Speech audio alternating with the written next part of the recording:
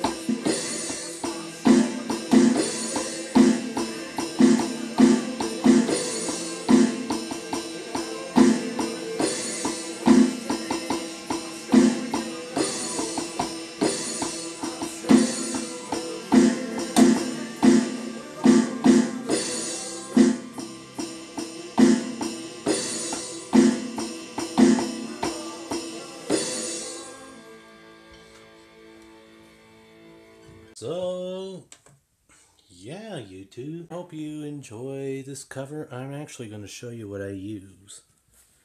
This is a YDD drum kit. I've not actually using the speaker. I'm using the amp right now. I ran it through a custom drum kit.